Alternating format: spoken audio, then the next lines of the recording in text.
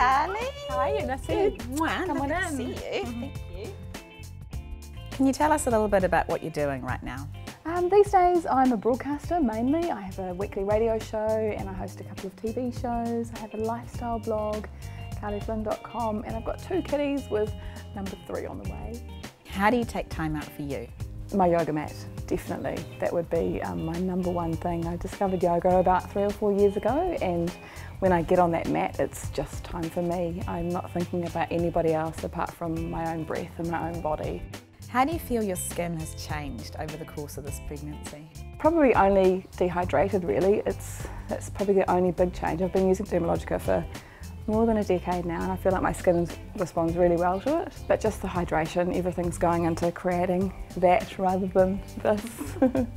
Not drinking enough water either.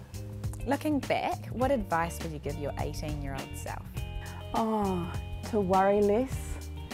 Um, something that I've managed to do a little bit in the more recent years, but certainly I spent a lot of my 20s worrying, a lot of my early 30s worrying, and probably to drink more water, use more sun cream. What skincare habits are you trying to instill in your children as they grow up?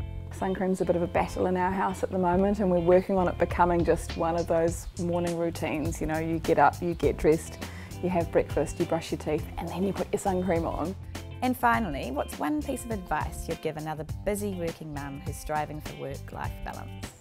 Probably that tomorrow's another day. If you get things wrong today in your mind, you can, you've got a chance every day to reset, um, to worry less. And you know, we've got so much going on in 2017 that we can't be perfect all the time and we're all going through the same stuff. So to worry less and to start fresh again tomorrow.